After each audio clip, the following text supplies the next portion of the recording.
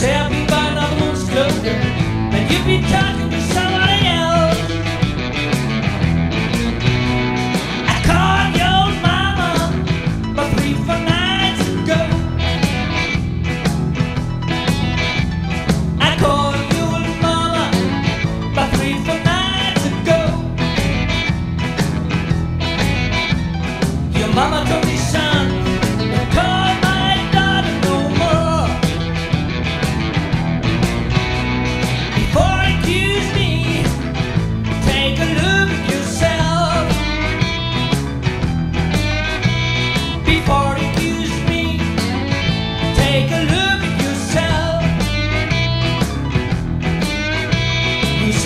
Buying other woman's clothes, and you've been taking money